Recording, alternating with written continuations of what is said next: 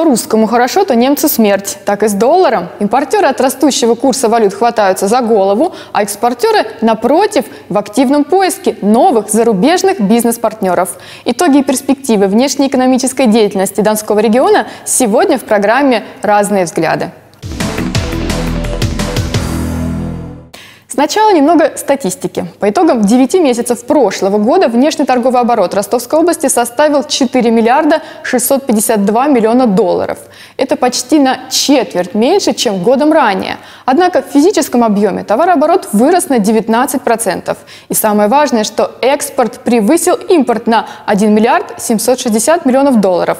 Как и в 2014 основными партнерами нашего региона по внешней торговле в минувшем году были страны дальнего зарубежья.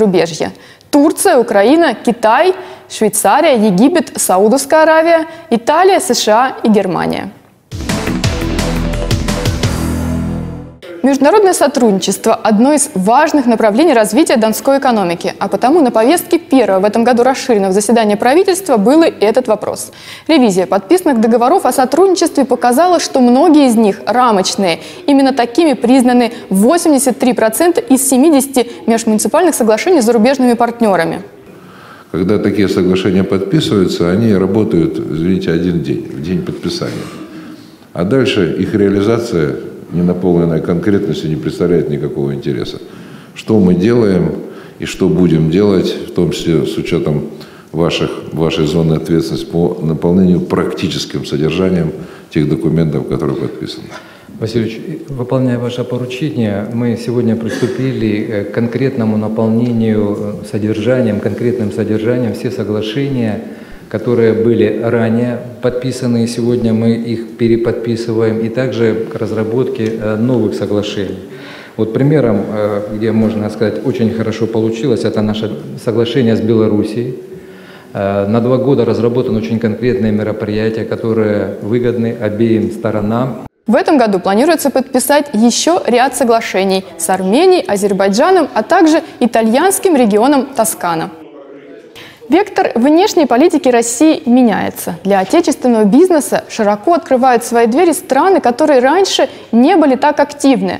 О нарастающем интересе к Румынии шла речь на встрече главы Донского региона с новым генконсулом. Я считаю, что и в Румынии, и в Ростове э, люди не знают очень много о возможностях, э, по которым мы можем сотрудничать.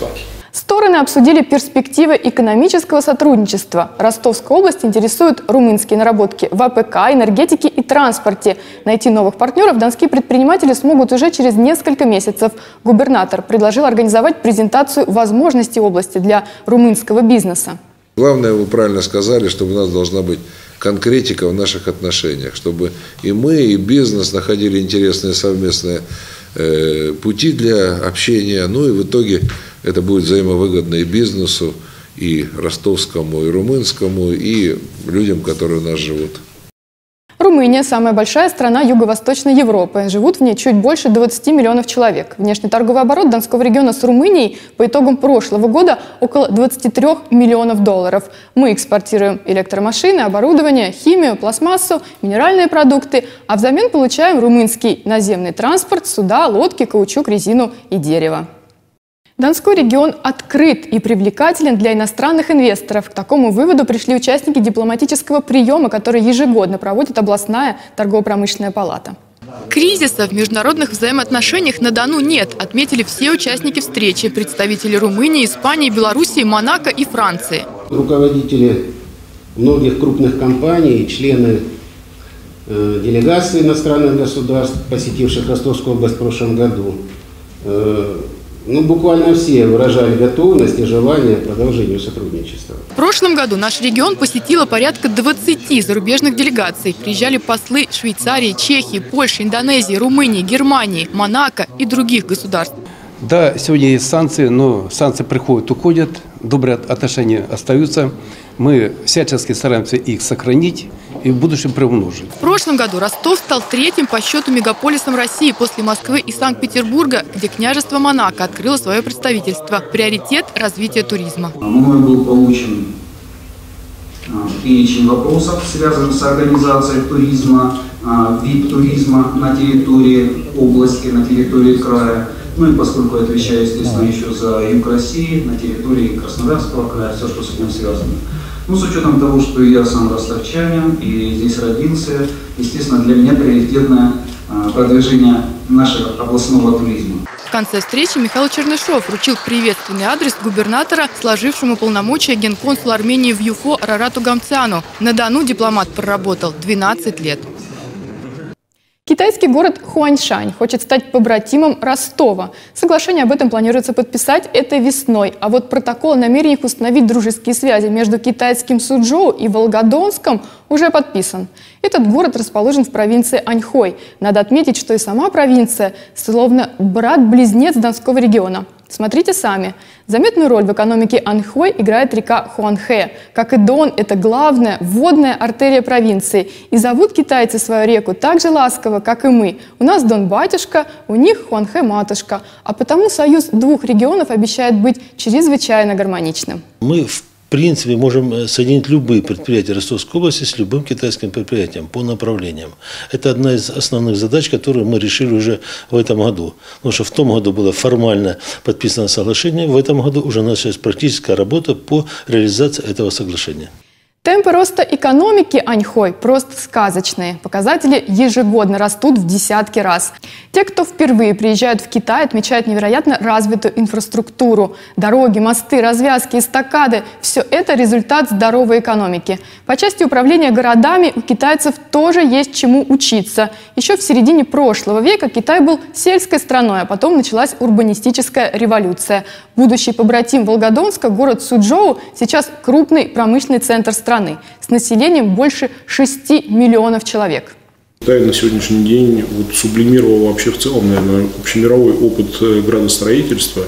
И именно реализация этого опыта ну, была бы, наверное, полезна для города Волгодонска, потому что город Волгодонск на сегодняшний день имеет в части городского строительства, наверное, ряд проблем, которые связаны с достаточно активным строительством новой части города, и потом точно так же это активное строительство в одночасье практически остановилось. Это было связано с общегосударственными проблемами. В первую очередь, на сегодняшний день мы понимаем, что ввиду развития атомной энергетики в город Волгодонск в любом случае будет определенный приток инвестиций. Статус городов-побратимов упрощает обмен делегациями и бизнес-миссиями. Примечательно, что китайские инвесторы готовы вкладывать деньги в развитие Волгодонской агломерации, создавая общий бизнес. Первым к совместной деятельности с Поднебесной приступает мебельная фабрика «Алмаз».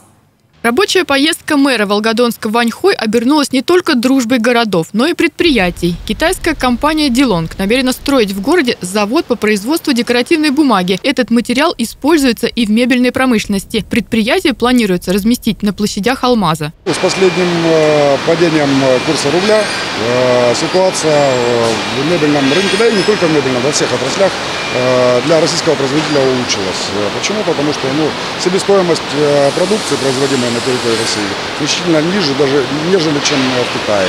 Э, и не говоря уже о Европе, о других странах. Э, мы только приехали с выставки, с международной, э, которая проходила в Москве на Краснопресненской набережной. Ну, спрос по импортозамещению был колоссальный. Арифметика простая. Теперь мебельный гарнитур донского производства стоит в два раза дешевле китайского. По такой цене надо брать, думают не только в Казахстане, Беларуси и Киргизии. Впервые заказ на волгодонскую мебель пришел из Европы. 64 гостиные, по одной в каждый магазин сети, уже уехали в Сербию. В планах еще и поставки на Филиппины. Город Волгодонск – это мебельный кластер. Э, э, его представляли на этой выставке комбинат древесных под торговой маркой Трия, ну и наша фабрика. Э, по большому счету, два самых больших э, стенда. Можно сказать, что э, мебельная индустрия переместилась на территорию Ростовской области. Мебельная фабрика «Алмаз» на днях вошла в престижный перечень губернаторскую сотню. А это значит, что когда китайские бизнесмены начнут возводить свой цех, то проблем с подключением к сетям и административных барьеров не возникнет. Наращивать объемы производства готово и еще одно предприятие Волгодонска. «Топас» уже много лет производят бензоколонки. Большая часть деталей приходит из Китая. Получаем из Китая комплектующие э, гидравлического узла. Это насосы, двигатели, датчики расхода, и э, объемомеры. Выбрать надежного китайского поставщика не так легко, как кажется на первый взгляд, говорит Сергей Анохин. Ту же самую номенклатуру изделия могут делать и нормальные предприятия, которые имеют у тебя и штат, и э, контроль, и, ну, по технологии производства. И делают также кустарно. Такие же точные изделия. Отличить их по внешнему виду очень сложно. Это может только в процессе эксплуатации. Поэтому прежде чем э, заключать договор с китайскими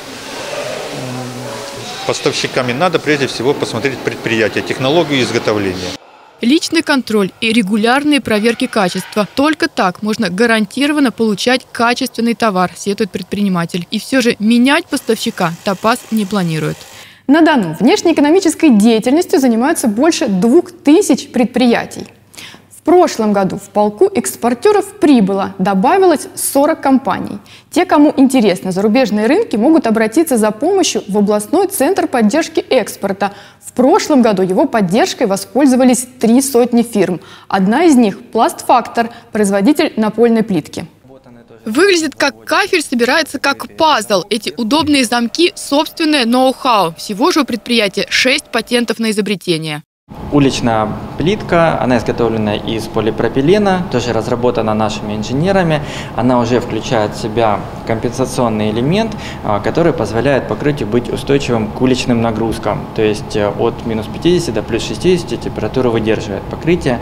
Им можно застилать э, уличные площадки в детских садиках, э, так и в частных домах. Практичность донской плитки уже оценили посетители Олимпийского парка. Фишт, Шайба, Адлер-Арена. Напольное покрытие там от ростовского производителя. Нынешний курс валют открывает для дончан новые европейские горизонты. Мы уже поставляем в страны СНГ. Это Беларусь, э, Казахстан, Армения. А, и э, сейчас готовится сертификация для поставок в еврозону. А, то есть э, мы проходим испытания, уже система ISO у нас внедрена на завод. А, и а, планируем а, в начале этого года уже получить сертификат ЕС. А вот контракт с белорусскими компаниями уже подписан. Выгодное соглашение заключили по итогам поездки, организованной Центром поддержки экспорта. Мы встречались с торгпредством, ездили к ним непосредственно на территорию. Они приезжали к нам на стенд, который был выставочный в выставочном центре. Нам организовывали встречу с Белэнерго, то есть мы выезжали с презентацией нашей продукции. И ну, довольно это успешно, то есть есть уже запросы. Новые заказы на плитку, массажные коврики и элементы кровли вынуждают компанию расширяться, пока производство ютится на арендованных площадях. Руководство компании уже подбирает подходящий участок земли для строительства нового завода.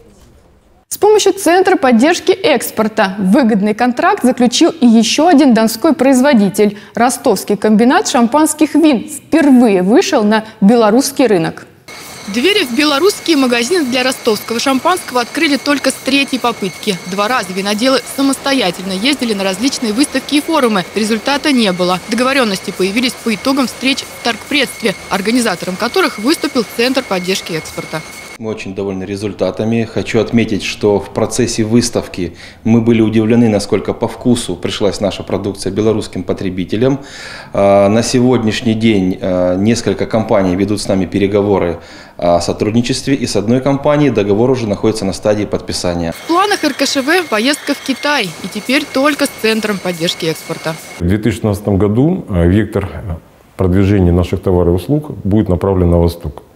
Если в конце 2015 года мы э, завершаем ее поездкой во Вьетнам, как одно из самых перспективных направлений развития отношений, то, безусловно, в следующем году мы продолжим наши отношения с Китаем, продолжим отношения с Индией и страны Восточного региона.